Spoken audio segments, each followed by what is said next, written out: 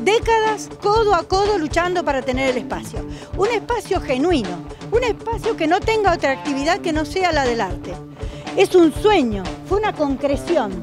Y no estamos dispuestos a que se siga manoseando esta situación. Tenemos dos reclamos. Este lugar sea exclusivamente del arte y que además se abra más al pueblo. Pero que todos los pisos sean nuestros.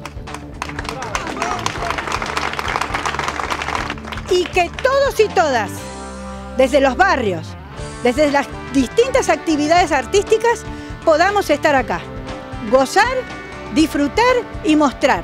Cuando le quitan al pueblo la expresión, le quitan la libertad. Realmente no se está muy bien informado y lo que se presume es algo desagradable porque es la usurpación legal de un lugar que estaba destinado para la cultura, habiendo en General Pico muchos lugares que pueden adecuarse para las eh, sesiones del consejo, el uso del consejo. Yo no soy artista ni escribo, simplemente me parece que tenemos que defender lo nuestro, no se puede pisotear impunemente, gratuitamente. Compartir con, cada uno de los que fue convocados eh, por voluntad propia, de, abrazar este espacio que no es solamente un espacio, sino también un símbolo de lo que es la cultura piquense, eh, la identidad piquense. Y, ahora, eh, bueno, saber de que una parte va a ser destinado a otro fin del que no es la cultura, eh, duele, duele bastante porque se trabajó mucho en este espacio y lo digo porque he trabajado dentro y fuera del espacio y, creemos que es esto, que la identidad cultural no se tiene que tocar, al contrario tiene que fortalecerse y de que no solamente sea parte de lo que son los artistas, sino que es el pueblo también que es eh, parte de esto.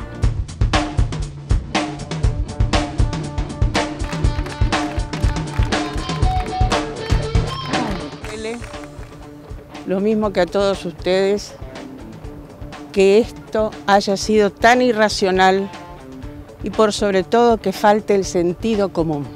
No me van a convencer a esta altura de mi vida y por el tiempo que me queda de esta ocupación parcial.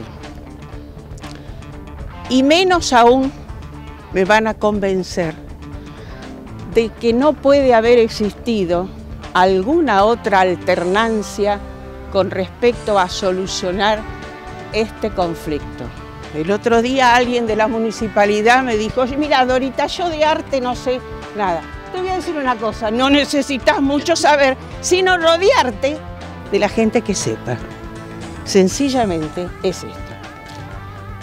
Quiero pensar, porque todavía apuesto, no sé ustedes, en una breve dosis de que pudiera en las próximas horas haber esta gente replanteado. Porque no es tampoco de cobardes ni de flojos volver atrás